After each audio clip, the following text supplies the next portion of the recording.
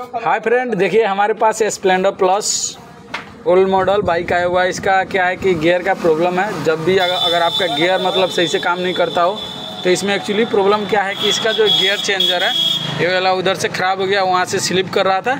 चलिए मैं आपको दिखाता हूँ जो गियर लीवर होता है वहाँ से स्लिप कर रहा था तो इसको हमको बाहर निकालना है। तो यहाँ से आपको दस के टी से इसको ओपन करना पड़ेगा। इसको पहले खोल लेते हैं। देखिए फ्रेंड फाइनली ये जो गियर जो स्टॉपर है, इसको आपको ऐसे छटका देना है। उसके बाद इसको बाहर की तरफ़ खींच लेना है। यही जो है, इसका जो साफ्ट यहाँ से जो होता है गुना, ये देखिए बिल्कुल ही ख़त्म हो गया था इसके वजह से। आपका जो क्लच है, सही से काम नहीं कर रहा था। चलिए इसको फटाफट खोलते हैं हम। और दूसरा डाल के मैं आपको दिखाता हूँ, आप कैसे डालें। फाइनली ये न्यू है, इस पर अभी प्लास्टिक है, चलिए इसको फाइनली ओपन करते हैं। देखिए फ्रेंड फाइनली ये जो गियर गियर साफ्ट है तो इसको आपको क्या करना है, इसमें बूस वूस सब लगा रहता है, इसको आपको, चलिए हम यहाँ से, ऐसे आपको लगा देना है इसके अंदर। ऐसे आप यहाँ से लगा दें।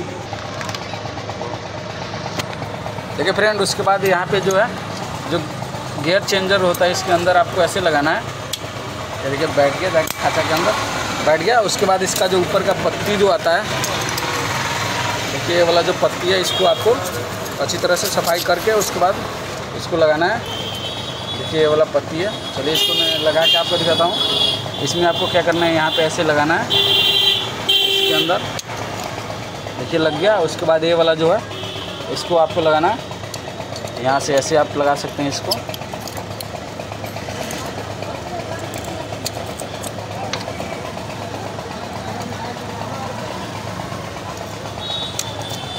देखिए फ्रेंड लगा दिए हैं।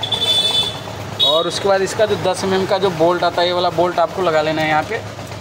चलिए इसको फाइनली टाइट करते हैं पहले 10 के टी से।